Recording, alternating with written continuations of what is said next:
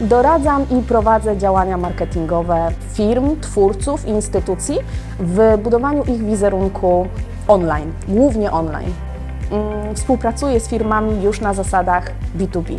Praca w marketingu, czy praca marketingowca, to jest wieczna przygoda. Nigdy nie przestajesz się uczyć. Marketing cały czas się zmienia. Każdego dnia mamy nowe narzędzia, mamy nowe rozwiązania, nowe możliwości, więc y, możesz tak naprawdę osiągnąć w nim wszystko i wiele. To jest też dziedzina, która jest bardzo szeroka i można wyspecjalizować się w różnych y, aspektach marketingu.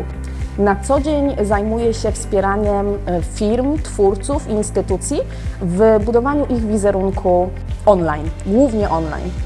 Czy są różnice w postrzeganiu marketingu między mną a studentami? Mm, niewielkie, ponieważ dziś marketing tak nas mocno otacza, że jesteśmy go świadomi i studenci mają już naprawdę sporą wiedzę na temat marketingu. Ja już dostrzegam na roku, z którym pracuję, przynajmniej dwie osoby, które są wyjątkowo utalentowane. Przy ostatnim zadaniu zaskoczył mnie jeden student, który całe zadanie, mm, cały warsztat, który przygotowałam na zajęcia, e, zrobił perfekcyjnie. Zrobił go z chatbotem i pokazał mi też to, w jaki sposób nieszablonowo dzisiaj może myśleć student. Zachodniopomorska Szkoła Biznesu. Www.zpsb.pl